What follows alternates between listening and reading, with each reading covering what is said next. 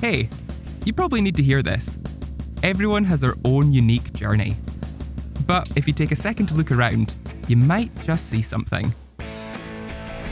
We may not do the same things, or even share the same interests. Take a closer look. We're all working towards doing something great, learning about our own strengths and weaknesses, overcoming challenges, and just working really, really hard. For all those late nights and early mornings will pay off. Also, let's not forget, you'll definitely have the time of your life.